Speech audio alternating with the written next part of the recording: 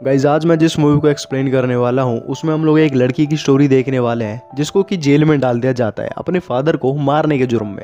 अब जेल में जाके उस लड़की की जो लाइफ है, वो क्या ट्विस्ट एंड टर्न्स लेती है, या जेल में उस लड़की का सर्वाइवल हो भी पाता है या नहीं, यही हम आज के एक्सप्लेनेशन में देखने वाले हैं। मूवी गाइज़ बहुत ही ज़्यादा इंटरेस्टिंग है। मैं आपको ज़रूर रिकमेंड करूँगा ये मूवी देखना। एंड आपको बहुत इंटरेस्ट आएगा तो वीडियो के एंड तक बने रहना। एंड चैनल को सब्सक्राइब कर देना। अब मूवी को स्टार्ट करते हैं। मूवी में हम लोग ऐना नाम की एक लड़की को देखते हैं, जो कि एक वायलिन बजा रही थी। अब यहाँ पर ऐना के फादर उसके पास आते हैं और वो उसको मोलेस्ट करने की कोशिश करते हैं। उसको मारते पीटते भी हैं। पर गुस्से में आके ऐना उनके ऊपर ही हमला कर देती है। ऐना उन्हें धक्का देती है, जिससे कि उनका जो सिर है, वह एक निकली चीज़ में जाके लगता है, जिससे कि उनके ऑन द स्पॉट ही डेथ हो जाती है। अब अगले दिन कोर्ट में सुनवाई होती है और हम ऐना की मोम को देखते हैं, जो कि कोर्ट में ये कह रही थी कि ऐना के फादर बहुत अच्छे आदमी थे, वो उसके साथ ऐसा नहीं कर सकते। अब उसकी मोम के इसी बयान पर ऐना को आठ साल की सज़ा हो जाती है। अब उसे जेल में ले जाया जा रहा था। हम लोग देखते हैं ऐना जेल में आती है और उसकी मुलाकात बाकी सारी लड़कियों से भी होती है। वो सारी लड़कियाँ लाइन बाय लाइन खड़ी थी। हम देखते हैं कि यहाँ पर एक जेल वार्डन था, जिसका नाम फ्रैंक था। अब ये भी इस मूवी में एक मेन एक्टर का रोल निभा रहा है। हम लोग यहाँ पर देखते हैं ऐना को जेल में ले जाया जाता है, जहाँ पर उसके जो वार्डन था उसका, उसकी जो वार्ड में, यानी कि ऐना के वार्ड में एक और लड़की उसके साथ रह रही थी, जिसका नाम जिनी था हम देखते हैं कि ऐना रात को सो रही होती है तो जिनी उसे देखकर रात को मास्टरबेट कर रही होती है, जिसे देखकर हमें ये पता पड़ता है कि जो जिनिया वो एक लेस्बियन है। अगले दिन हम लोग देखते हैं, जो ऐना है, वो बाहर जाती है घूमने के लिए। तो यहाँ पर हम एक लड़की को देखते हैं, जो कि, जिसका एक ग्रुप था जेल के अंदर, वो एक बुरी लड़की थी। आप लोग ये कह सकते हो कि वो एक गैंगस्टर थी, लड़कियों की गैंगस्टर हम यहाँ पर देखते हैं, वो लड़की ऐना को तंग करने की कोशिश करती है। हम लोग देखते हैं ऐना जी एक दिन साफ़ सफ़ाई का काम कर रहे होते हैं तो वो लड़कियाँ और उसके ग्रुप की सारी लड़कियाँ ऐना को पिटाई करती हैं। अब ऐना यहाँ पर वार्डन के पास ले जाया जाता है ऐना को। वार्डन उससे कहता है कि अगर तुम्हें इन सब चीज़ों से बचना है तो तुम्हें मुझे खुश करना होगा। अब ऐना क्या करते हैं, उसके सामने बैठ जाती है। अब उसकी बात को सुनकर ऐना जो है, वहाँ से चली जाती है। उसे बहुत गुस्सा आ रहा था। ऐना जाती है और ये बात को सुनकर रोने लगती है। उसके पास यहाँ पर जिनी आती है, जो कि उससे पूछे क्या हुआ, और वो उसे साथ साथ किस करने की कोशिश भी करती है। पर ऐना समझ जाती है वो लेसबैन है, और वो उसे अपने पास से भगा देती है। पर हम देखते हैं ऐना जब बाहर जाती है तो जिन्हें को अपने साथ ले क्योंकि ऐना की यहाँ पर सिर्फ़ यही एक फ्रेंड थी। हम लोग देखते हैं ऐना की बाहर एक लड़ाई भी होती है एक लड़की से और वो उससे कहती है कि मैं तुम्हारे गैंग में शामिल होना चाहती हूँ और ये लड़की और कोई नहीं वही गैंगस्टर थी।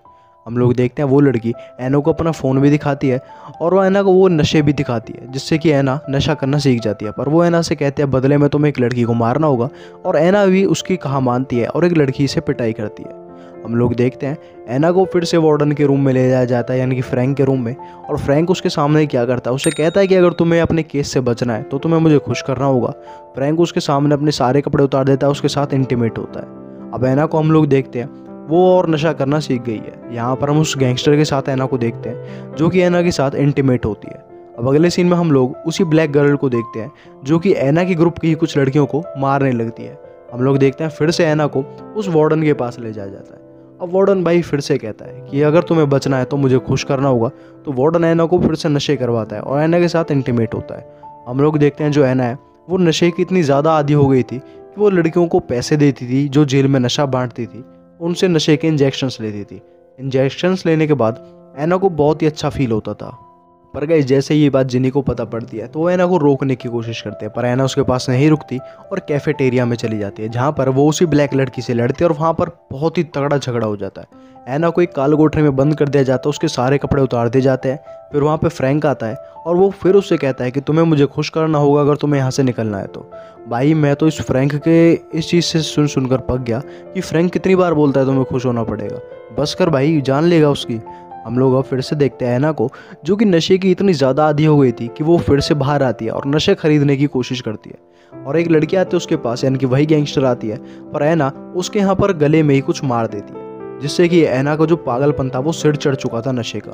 अब ये लोग क्या करते हैं, यहाँ पर ऐना को फिर से उसी काल कोठरी में डाल देते हैं। ऐना क्या करती है काल कोठरी में से जिस खाने में, जिस प्लेट में उसके लिए खाना आया था, वो उस प्लेट के काट के अपने हाथ को काट लेती है। अब उसको एक हॉस्पिटल में ले जाया जाता है। वहाँ पर उसकी मुलाकात एक डॉक्टर से होती है, जो कि उससे पूछते हैं कि तुमने ऐसा क्यों करा? तो ऐना उनसे कहती है कि मुझे नशा चाहिए था। अब हम लोग देखते हैं, ऐना की जो हालत थी, वो दिन ब दिन ख़राब होती जाती नशा ना मिलने की वजह से। हम लोग एक दिन देखते हैं कि ऐना को एक उसी रूम में ले जाया जा रहा था, जहाँ पर नशे के पीड़ित वो थे, पेशेंट्स थे। हम देखते हैं ऐना उन्हें देख के सही हो जाती है, क्योंकि ऐना को पता पड़ चुका था कि नशा उसके लिए कितना ख़राब है। हम देखते हैं ना कि मोम को जो है ना कि पास आते हैं और कहते हैं कि मुझे पता पड़ चुका है सच कि तुम बेगुनाह हो और तुम्हारे डैड ने तुम्हारे साथ क्या किया।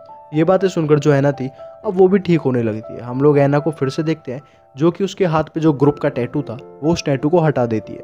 अब ये बात, जैसे उस ग्रुप लीडर गैंगस्टर को पता पड़ती है तो वो अपने ग्रुप के साथ ऐना को परेशान करने लगती है। अब ऐना भी दोस्तों उस चीज़ से तंग आ जाती है तो वो वहाँ से भाग के की कोशिश करती है, पर यहाँ पर एक ब्लैक लड़की आती है, जो कि उसको परेशान करके उसके गले पे काट देती है। हम लोग देखते हैं ऐना को फिर से फ्रैंक के पास ले जाया जाता है, जो कि उससे कहता है कि तुम्हें मेरे साथ इंटीमेट होना पड़ेगा। हम लोग देखते हैं, फ्रैंक देखता है कि ऐना ने अपने हाथ में जो टैटू था वो हटा दिया है। और टैटू हटाने की वजह से ही उस गैंगस्टर ने ऐना के गाले पे काट लिया है। अब ये बात जैसे ही फ्रैंक उसे पूछता है कि ये किसने करा तो ऐना उसे बता देती है कि ये सब उसने ही करा है। तो फ्रैंक क्या करता है, उस लड़की को मरवा देता है। अब हम एक डॉक्टर को देखते हैं जिसको कि फ्रैंक की सारी सच्चाई पता पड़ चुकी थी, जो कि ऐना ने उसे बता दिया था कि फ्रैंक उसके साथ इंटीमेट होता है। तो फ्रैंक क्या करता है कि उस डॉक्टर को भी मरवा देता है। हम लोग देखते हैं ऐना को फिर से फ्रैंक के पास ले जाया जाता है और ऐना यहाँ पर इस बार फ्रैंक की उसके साथ इंटीमेट करते हुए वीडियो रिकॉर्ड कर लेती है। अब ऐना क्या करती है कि इस वीडियो रिकॉर्डिंग को जो हाई हाई लेवल के ऑफिसर्स थे, उनको दिखा देती है, जिससे कि फ्रैंक को पुलिस पकड़ लेती है, उसे हिरासत में ले लिया जाता है और ऐना को रिहा कर दिया जाता है। और हम अगले सीन में एना को देखते हैं, एक वायलन बजाते हुए एक पार्टी में। अब हम देखते हैं दोस्तों, यही इस मूवी की एंडिंग है। यहीं पर ये मूवी खत्म होती है। अगर आप लोगों को ये मूवी अच्छी लगी हो तो चैनल को सब्सक्राइब करना मत भूलना बेल आइकन दबा देना। तब तक के लिए बाय बाय फिर मिलते हैं नई एक्सप्लेनेशन के साथ।